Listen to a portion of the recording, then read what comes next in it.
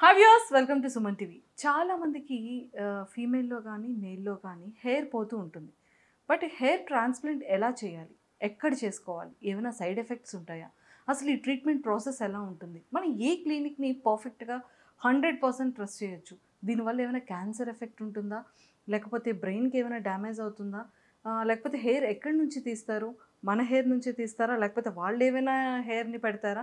ఇలాంటి చాలా డౌట్స్ ఉన్నాయండి. ఎందుకంటే మా ఇంట్లో మా తమ్ముడు కూడా హెయిర్ లేదు కాబట్టి ఆ డౌట్స్ అన్ని కూడా ఇప్పుడు నాకు కూడా డౌట్స్ వచ్చాయి కాబట్టి ఈరోజు నాతో పాటు senior cosmetologist and cosmetic surgeon G Rajasekhar sir ఉన్నారు. సో సార్తో మాట్లాడి చాలా విషయాలు తెలుసుకుందాం. Hello sir. Hello. Welcome to Suman TV. Thank you. Sir నిజంగానే హెయిర్ గురించి చాలా మందికి చాలా రకాల డౌట్స్ ఉంటూ ఉంటాయి. బోల్డ్ ఉంటాయి చాలా ఉంటాయి. అందులో నాకు కూడా చాలా ఉన్నాయి.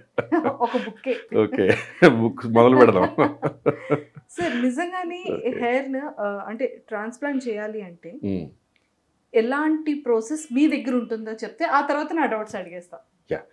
సి ఫస్ట్ ఆఫ్ ఆల్ వెనక కొన్ని సంవత్సరాల ముందు ఇప్పటికీ కొంతమంది డాక్టర్స్ ప్రాక్టీస్ చేసి వెనకాల స్ట్రిప్లో కోస్తారు. దాన్ని ఇంత స్ట్రిప్ తీసి దాంతో ఇన్ని ఇంత పెట్టేస్తూ ఉంటారు ఎలా పెడతారో నాకు తెలియదు కానీ దాన్ని ఎఫ్యూటీ అంటారు. ఫాలికల్ యూనిట్ ట్రాన్సాక్షన్ అని చెప్పి దాన్ని అలా స్ట్రిప్లో తీసి స్ట్రిప్ నుంచి సెపరేట్గా గ్రాఫ్ట్స్లో చేసి అవన్నీ హోల్స్ చేసి పెట్టేస్తారు. అది ముప్పై ఐదు నలభై ఏళ్ళ ఉంది. తర్వాత ఎఫ్యూఈ విగ్ కాదు. మన గ్రాఫ్ట్స్ అంత రూట్తో సహా తీసి. పెట్టేస్తారు అవి పెరిగిపోతాయి. కానీ పెట్టినట్టు తెలిసిపోవడము ఒక లైన్ లాగా ఉండడము చాలా దూరం దూరంగా రావడం అలా వస్తుంటుంది. మీకు సోర్స్ చాలా బాగుంది మీ సోర్స్ అంటే మీ మీ బాడీలో మీ బ్రదర్తో మీ ఫాదర్తో కూడా మీకు సూట్ కాదు. మీ బాడీలో వెనక నుంచి ఎప్పటికీ ఊడిపోని జోన్ అనేది ఇది పర్మనెంట్ జోన్. అలాగే ఇది ఎప్పటికీ ఊడిపోని జోన్. అలా ఇక్కడది ఎప్పటికీ ఊడిపోని జోన్. అంటే బాడీ హెయిర్. సో మీ బాడీ జోన్ మీ సోర్స్ నుంచి మీకు తీసి పెట్టేదే మీ హెయిర్ ట్రాన్స్ప్లాంట్. అందులో ఎలా ఉంటుందంటే రూట్తో సహా తీసేది ఇందాక చెప్పినట్టు స్ట్రిప్ కోసినట్టు అయితే తర్వాత ఒక పెన్ లాంటి దాంతో తీసేది ఎఫ్యువి అని ఫాలికల్ యూనిట్ ఎక్స్ట్రాక్షన్ అంటారు. ఎఫ్యూవి అని వచ్చింది. తర్వాత ఫోర్త్ జనరేషన్ ఎఫ్యూవి అని ఏడిహెచ్ఏ అని advance direct hair implant technique అని అన్నీ వచ్చిన తర్వాత fourth generation FUE with MMADHI అంటే modified micro advance direct hair implant అనేది జరిగేది శ్రీరూప్ కాస్మెటిక్ క్లినిక్స్ హైదరాబాద్లో. ఫస్ట్ స్ట్రిప్ కోసినట్టు లేదా ఇంజక్షన్ ఇచ్చినప్పుడు లోకల్ ఇచ్చినప్పుడు పెద్ద సిరెన్స్తో అలా ఇచ్చి తీస్తారు విపరీతమైన నొప్పి ఉంటుంది ఇంజక్షన్ ఇచ్చేటప్పుడే కొంతమంది అమ్మో అని అరుస్తారు కూడా మ్మ్. మనం సీరూప్ కాస్మెటిక్ క్లినిక్స్లో మొదలు ఏంటంటే అడ్వాన్స్ టెక్నికే కాకుండా ఫస్ట్ పెయిన్ తెలియనివ్వకుండా ఉండడానికి ఎనస్థీషియా క్రీమ్ రాసి తర్వాత ఫైనెస్ట్ సిరెన్స్తో తొందరపాటు లేకుండా కొంచెంసేపు తర్వాత అది ముద్దుబారాక అక్కడ మళ్ళీ స్లోగా ఎనస్థీషియా ఇవ్వడం. అది ముద్దుబారిపోయింది అక్కడి నుంచి గ్రాఫ్ట్స్ అనేది ఒక ఫైనెస్ట్ పెన్ లాంటి దాంతో. చాలామంది వన్ మిల్లీమీటర్ అలా రకరకాలుగా ఉంటారు వాడుతుంటారు పంచెస్ మంది point seven point eight millimetre పంచి వాడుతుంటాం సో అంత మైక్రోనైజ్ పంచ్ స్టెన్సిల్ పెన్సిల్ ఉంటుంది కదా. అలా లెడ్ వస్తుంటుంది దానికి దగ్గరలో ఉన్న పంచ్ లాంటి దాంతో ఆల్టర్నేట్గా ఒక మొత్తం ఏరియా నుంచి వెనక నుంచి ఎప్పటికీ ఊడిపోని జోన్ కదా ఇది ఎంత ముసలైనా. అందుకని పర్మనెంట్ జోన్ అంటాం కాబట్టి అక్కడి నుంచి గ్రాఫ్ట్ తీయడము వాటిని కలెక్ట్ చేసి మళ్ళీ ఆ గ్రాఫ్ట్స్ పెట్టేయడం.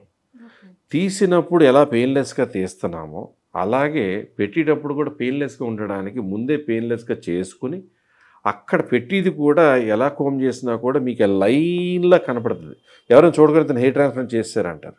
అదే శ్రీరూప్లో చేసిన చూడగానే హెయిర్ ట్రాన్స్ప్లాంట్ చేశారు అనరు వాళ్ళకి సోర్స్ తక్కువ ఉంటే కొంచెం పలచగా తిక్కుగా పలచగా తిగ్గా ఉండొచ్చు. అలాగే సోర్స్ బాగుంటే చాలా తిగ్గా న్యాచురల్గా వచ్చేయచ్చు.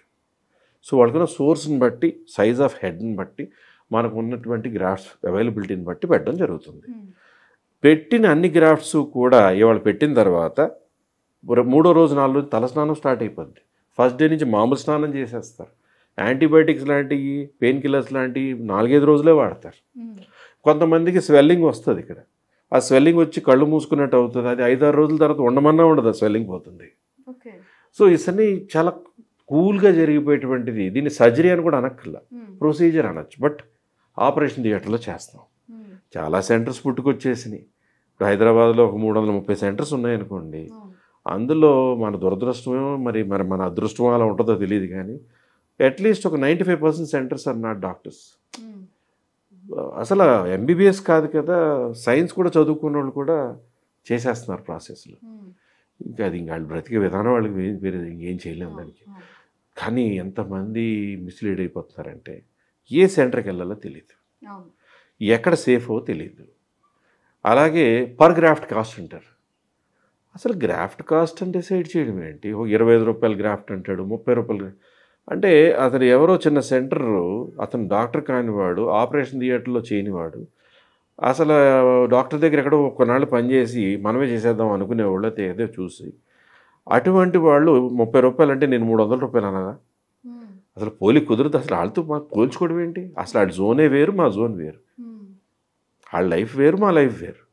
సో ఇక్కడ ప్రొఫెషన్ వేరు ఆ ప్రొఫెషన్ వేరు. సో ఇందులో ఏంటంటే ప్రొఫెషనల్గా ఉంటూ ఒక ప్రాపర్ ట్రైన్ టీమ్ని ఒక ఆపరేషన్ థియేటర్ లాంటి సెటప్లో స్టెరిలైజ్డ్గా చిన్న ఇన్ఫెక్షన్ వస్తుందేమో అన్న అనుమానం కూడా లేకుండా చాలా సేఫ్గా పెయిన్లెస్గా డాక్టరు అసిస్టెంట్ డాక్టర్స్ ఒక టీమ్ సమక్షంలో జరిగే ప్రాసెస్ ఇవాళ మార్నింగ్ చేసాం సాయంకాలంకి అయిపోయింది. లేదా ఎక్కువ ఏరియా ఉంది రెండు రోజులు పట్టింది. ఆ తర్వాత వెళ్ళి నెక్స్ట్ డే నుంచి మామూలుగా స్నానం చేసామా మెడిసిన్ తీసుకున్నామా నార్మల్ పనులు చేసేసుకుంటున్నామా రెండో రోజు నుంచి మెష్గా ఉన్న క్యాబ్తో బయటికి వెళ్ళిపోతున్నాం. మండు టెండ్లో వర్షంలో కాకుండా మామూలుగా తిరుగుతున్నాం అనేటువంటి ప్రాసెస్సే హెయిర్ ట్రాన్స్ప్లాంటేషన్. ఓకే. సార్ ఇంకొకటి కూడా చాలా మంది అంటారు కదా బ్లడ్ని తీసి ప్లాస్మా చేసి ఆ బ్లడ్ని కూడా ఇంజెక్ట్ చేసి అదంతా బ్లడ్ బ్లడ్గా కనబడుతుంది బ్లడ్ బ్లడ్గా కనపడదు. ఊహించుకున్నట్టున్నారు చాలామంది కానీ అదేంటంటే హెయిర్ ట్రాన్స్ప్లాంట్ కోసం కాదు. ప్లేట్లెట్ రిచ్ ప్లాస్మా అంటారు. మన స్కిన్కి మన హెయిర్కి మన హెయిర్ రూట్స్ కావాల్సిన న్యూట్రియంట్స్ చాలా వరకు పిఆర్పిలో ఉంటాయి. అలాగే గ్రోత్ ఫ్యాక్టర్స్ అని ఉంటాయి. గ్రోత్ ఫ్యాక్టర్ కాన్సన్ట్రేట్స్ అని ఉంటాయి. పెప్టైడ్స్ అని ఉంటాయి. స్టెమ్ సెల్స్ అని ఉంటాయి. ఇన్నిటువంటి కాంబినేషన్తో కొంచెం హెయిర్ పలచబడుతున్నా. బట్టతల మీద మీరు పిఆర్పి కాదు ఏ ఇంజెక్షన్ చేసినా ఏ హెయిర్ మలవదు. మీ హెయిర్ ట్రాన్స్ప్లాంట్ చేయాలంతే. అదే కనుక ఒక యంగ్స్టర్కి హెయిర్ పలచబడుతుంది హెయిర్ ఫాల్ అవుతుందని కంగారు పడుతున్నారు. కొంచెం అలా స్నానం చేస్తూ తొలదుకుంటే అలా లైట్ కనపడిపోతుంది స్పేసెస్. లేదా ఆడవాళ్ళకి పీసీఓడి వలన హెయిర్ ఊడిపోతూ వాళ్ళకి పలచబడిపోతుంది వాళ్ళకి ట్రీట్మెంట్ మాత్రం అద్భుతంగా పనిచేస్తుంది. అంటే ఓన్లీ పిఆర్పి పనిచేయదు. పిఆర్పి అనేది పనిచేసిన టెంపరీ అది అందరూ వచ్చి నాకు చెప్పేదే. శ్రీరూప్ కాస్మెటిక్ క్లినిక్స్ ఏం చేస్తామంటే పిఆర్పి శాంపిల్ తీసి పక్కన పెట్టుకుని హెయిర్ గ్రోత్ ఫ్యాక్టర్ అని గ్రోత్ ఫ్యాక్టర్ కాన్సన్ట్రేట్ అని స్టెమ్ సెల్స్ అని పెప్టైడ్స్ అని సిరమ్స్ అని ఇన్ని ఒక్కొక్క ఒక్కొక్క ఎంఎల్లో కలెక్ట్ చేసి పెట్టుకున్నాక అప్పుడు వాళ్ళకి రోలర్ చేయాలా? ఇంజెక్ట్ చేసి నొప్పి వచ్చేటువంటిది. అంటే ఇంత నెత్తు నెత్తి ఉందనుకోండి ఒక ఐదారు పాయింట్లో గుచ్చేస్తే నెత్తి అంతా ట్రీట్మెంట్ ఇచ్చేసినట్టేనా? అంటే మిగతాదంతా మీ నెత్తి కాదా? సో ఈ హెయిర్ థిన్నింగ్ హెయిర్ బాగా థిన్ అయిపోయి హెయిర్ స్పార్స్గా వచ్చిన వాళ్ళకి ఈ ట్రీట్మెంట్ చాలా పనిచేస్తుంది. అదే ఒక ఏరియాలో స్కిన్నీగా వెనక్కి వెళ్ళిపోయింది. ఇప్పుడు ఆడవాళ్ళు ఉన్నారు చాలామంది. ఆడవాళ్ళకి వెనక్కి వెళ్తుంది. లేదా ఇక్కడ ఉంటుంది. మన యూఎస్ నుంచి వేరే కంట్రీస్ నుంచి చేయించుకుని వెళ్తున్నారు హైదరాబాద్లో. అదేంటంటే ఇదే హెయిర్ ట్రాన్స్ప్లాంట్ వాళ్ళదే ఇక్కడ ఇలా ముడి వేసేసి ఇక్కడ నుంచి హెయిర్ హార్వెస్ట్ గ్రాఫ్స్ హార్వెస్ట్ చేసుకొని వాళ్ళకి ఒక ఆడవాళ్ళకి ఏంటి గోపురంలా ఉంటుంది. మగవాడికి ఇలా కర్వ్ అయి తిరుగుతుంది. అంతే కదా న్యాచురల్ హెయిర్ లైన్ అలా ఒక డ్రాయింగ్ వేసుకున్నాక ఆ డ్రాయింగ్ ప్రకారం న్యాచురల్గా హెయిర్ ఏ డైరెక్షన్లో ఉంటుంది ఆ డైరెక్షన్లో పెయిన్ లేకుండా ఆ డైరెక్షన్లో పెట్టిన తర్వాత ఒక over period of six seven months చక్కగా పెరిగిపోయి మామూలుగా హెయిర్ దూకున్న దానిలో కలిసిపోతూ చూడగానే హెయిర్ ట్రాన్స్ప్లాంట్ అని కూడా ఎవరు చెప్పకుండా న్యాచురల్ హెయిర్ లైన్ వచ్చి ఇలా చేసేదే శ్రీరూప్ కాస్మెటిక్ క్లినిక్స్లో హెయిర్ ట్రాన్స్ప్లాంట్ సార్ ఈ ట్రీట్మెంట్ వల్ల ఏమైనా సైడ్ ఎఫెక్ట్స్ రావడం కానీ లేకపోతే హెడ్ ఏక్ ఇది అయిపోవడం కానీ మ్మ్. తిరగడాలు తర్వాత హెయిర్ ఫాల్ తర్వాత అయిపోతూ ఉండడాలు. ఇలాంటివి ఏమైనా ఉంటాయి? చాలామంది ఇదే ఊహిస్తారు. కొంతమంది బ్రెయిన్కి ఏమైనా అయిపోద్దేమో అనుకుంటారు. కొంతమంది కళ్ళకి ఏదైనా అయిపోద్దేమో అనుకుంటారు. యాక్చువల్గా ఇది చర్మం అనుకోండి. ఇది కండ అనుకోండి. తర్వాత ఎముకు తర్వాత బ్రెయిన్. మనకి చర్మం నుంచి ఫైవ్ మిల్లీమీటర్ డెప్త్లో జరిగేదే హెయిర్ ట్రాన్స్ప్లాంటేషన్. ఓకే. ఆ కింద కండ ఉంది. కండ తర్వాత స్ట్రెచబుల్గా ఒక పది పేపర్లు కలిపి స్ట్రెచ్ అయ్యేలా ఉంటే పొరలా ఉంటుంది. తర్వాత ఇంత లావు ఎముక ఉంటుంది తర్వాతే బ్రెయిన్ ఉంటుంది. పైన ఫైవ్ మిల్లీమీటర్లో జరిగే దాని వలన ఐసైట్కి తేడా వస్తుందనో ఇన్ఫెక్షన్ తేడా వస్తుందనో ఏదైనా సైడ్ ఎఫెక్ట్ ఉంది side effect is all money. Side effect is only five days of six days of discomfort. First day నుంచి శుభ్రంగా పడుకుంటారు. కానీ గ్రాఫ్ డిస్టర్బ్ అవుద్దేనో ఒక భయంతో ఒకళ్ళు పడుకుంటారు. ఒకళ్ళు ఏంటంటే అదే పొజిషన్లో పడుకోవడం పడుకోలేక మెడ పడుతుంటుంది ఇలాంటి సెకండరీ థింగ్స్ తప్ప సరిగ్గా ప్రాసెస్ చేసినట్లయితే పడుకున్న చోట చిన్న పచ్చి నొప్పిలా తప్ప ఏదైనా మైల్డ్గా ఆ చేసుకున్న ఎంజాయ్మెంట్లో ఆ గ్రాఫ్ట్స్ వచ్చే ఎంజాయ్మెంట్లో పెరిగి దాంట్లో అవన్నీ అలా మర్చిపోతారు. Okay. So no side effects no side effects మనం ఏ రెగ్యులర్ షాంపూ ఆయిల్స్ అన్ని యూస్ చేస్తాం. ప్రాపర్ సెంటర్ ప్రాపర్ టీమ్తో చేసుకుంటే నో సైడ్ ఎఫెక్ట్స్ షాంపూ ఏదైనా వాడుకోవచ్చు. Say good shampoo is a good shampoo.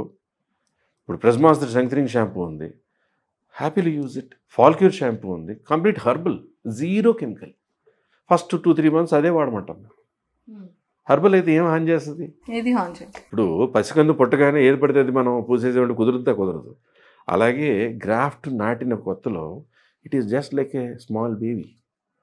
దానికి ఏది సేఫో అటువంటి షాంపూ అటువంటి సిరము అలాగే మంచి ఆహారం ఇస్తే చక్కగా పెరగడం అనేది జరుగుద్ది. సాధారణంగా హెయిర్ ట్రాన్స్ప్లాంట్ చేసిన తర్వాత జీవితకాలం పోషించాలేమో దాన్ని ఏదో చేయాలేమో అనుకుంటారు. ఫస్ట్ సెవెన్ ఎయిట్ మంత్స్ ఒక చెట్టు నాటిన తర్వాత దాన్ని నీళ్ళు పోయకుండా ఏమి చేయకుండా వదిలేస్తూ చెట్టు పెరుగుద్దా? అలాగే ఉంటుంది. అదే కనుక దానికి మంచి న్యూట్రిషన్ ఇచ్చామనుకోండి ఎలా పెరుగుద్దు? అదే సేమ్ మెడికల్ అగ్రికల్చర్. ఈ హెయిర్ ట్రాన్స్ప్లాంట్. ఎక్సలెంట్. సో మంచి హెయిర్ సిరం మంచి హెయిర్ షాంపూ మంచి ఆహారం with all vitamins minerals good protein. మీరు తీసుకుంటున్నారనుకోండి. మేల్ ప్యాటర్న్తో తాతగారు ముత్తాతలో మేనమామలో ఫాదర్ నుంచి మనకు వచ్చేసింది బట్టతలు. బట్టతలు వచ్చిన తర్వాత దాన్ని చేసుకుని పెట్టిన ప్రతి గ్రాఫ్ట్ మీరు వందేళ్ళు బ్రతికితే వందేళ్ళు మీతోనే ఉంటుంది. That's it is permanent treatment thank you sir thank you so much చాలా క్లియర్గా ఎక్స్ప్లెయిన్ చేశారు. సో మరి చూసారు కదా? హెయిర్ ట్రాన్స్ప్లాంట్ ఎక్కడ పడితే అక్కడ చేయడానికి కాకుండా పర్ఫెక్ట్గా ట్రీట్ చేసే ఎక్సలెంట్ క్లినిక్స్ కనుక చూస్ చేసుకుంటే ఖచ్చితంగా అది లైఫ్ టైం చాలా సెక్యూర్గా ఉంటుంది. ఎలాంటి ప్రాబ్లమ్స్ ఉండదు ఎలాంటి సైడ్ ఎఫెక్ట్స్ ఉండదు. సో అలాంటి క్లినిక్స్లో the number one Sriroop so ఖచ్చితంగా మీ హెయిర్ని ఇంకా మంచిగా చేయించుకోవాలి పర్మనెంట్గా అనుకుంటే ఖచ్చితంగా కింద స్క్రోల్ అవుతున్న కాంటాక్ట్ నెంబర్కి కాంటాక్ట్ అవ్వాలి థ్యాంక్ యూ